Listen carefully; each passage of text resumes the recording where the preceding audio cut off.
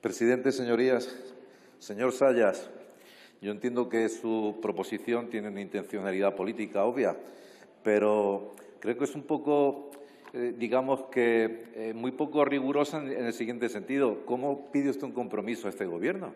Si este Gobierno lo único que se dedica es a tirar balones fuera, la culpa de toda la crisis económica la tiene o la COVID o Ucrania, o también nos hemos enterado que la ultraderecha, que somos responsables de todo, según se ha dicho aquí esta mañana hasta somos responsables de la crisis agrícola. Yo les recomiendo al señor Sicilia y a los señores del PSOE que vayan a Murcia a una manifestación de los agricultores, que se suban a un tractor como Macarena Olona o como eh, nuestro presidente Santiago Abascal, que se suban a esos y a ver cómo les reciben a ustedes, a ver cómo les reciben. Silencio, por favor. Vayan ustedes y díganle, díganle a los agricultores murcianos, a quienes se están acusando de contaminar el Mar Menor, a quienes les quieren quitar el trasvase, a quienes ya le quitaron el trasvase del Ebro. Vayan ustedes y, y, díganle, como han dicho aquí, que son ustedes quienes les defienden, porque seguro que no se lo creen, porque tontos no son. Vamos, por favor. Es increíble. Además, nos hemos enterado esta mañana de que somos eh, un, problema para la democracia. Los señores de, Vox nos dicen que somos contrarios a la, democracia. Y nos lo dice un señor que tiene una ideología comunista. Es increíble, pero bueno, ¿de qué guindo creen ustedes que nos hemos caído? Ahora resulta que el comunismo defiende la democracia. ¿Desde cuándo? Sí, bueno, estupendo. Pues Stalin debería ser un gran demócrata y ustedes defendiendo a la tiranía castrista en Cuba o a la tiranía de Venezuela hacen un gran favor a la democracia. No hay más que verlo, ¿eh? no hay más que ver lo bien que viven allí.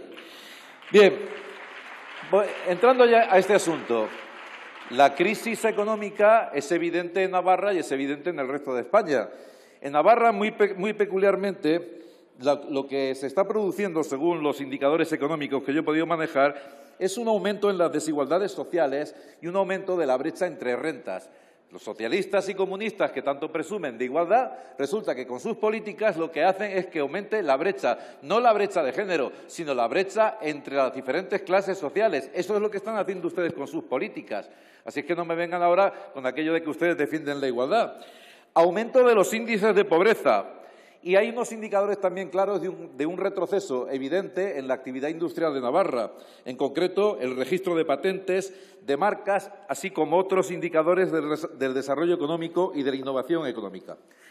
Bueno, la cuestión es que no hay medidas claras de este Gobierno y resulta muy cándido por parte del señor Sayas pedir ningún tipo de compromiso a este Gobierno, y mucho menos al Gobierno de la Comunidad Foral, que no hace inversiones en I+D, pero sí le da 10 millones de euros a, las asociaciones que defienden la euskaldunización de Navarra y que defienden que el idioma euskérico este inventado se convierta en el idioma oficial de Navarra para poder aplicar esa inversión lingüística que ya aplican en Cataluña e incluso en Valencia para que los niños españoles no puedan ser educados en español. Eso es a lo que se dedica el Gobierno navarro.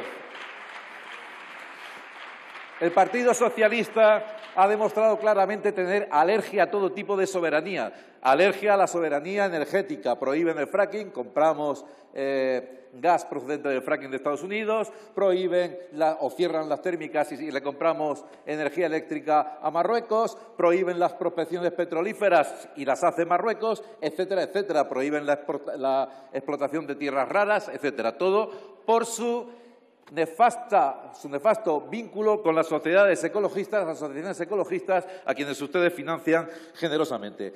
Madrid, Navarra y el País Vasco están a la cabeza en la mayor parte de los indicadores macroeconómicos.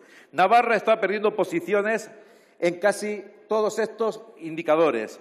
Y esto revela que aquello que caracterizaba la economía navarra y su enorme potencial no solo se ralentiza, sino que además está revirtiendo a una situación que ya es generalizada en toda España de parálisis económica, inflación y paro elevadísimo, especialmente grave entre la población más joven. Y si graves son las consecuencias en Navarra, que es una de las joyas de la corona, imagínense ustedes cómo está la situación en Murcia, en Extremadura o en Andalucía. Este gobierno nos conduce a una ruina, a un paro inasumible, a una economía que se deteriora a pasos de gigante. Este gobierno de la ruina y el despilfarro nos conduce a un negro futuro y su única excusa es decir que la ultraderecha es el problema. Nosotros no somos el problema, somos la solución, junto a que se vayan ustedes de una puñetera vez. Gracias.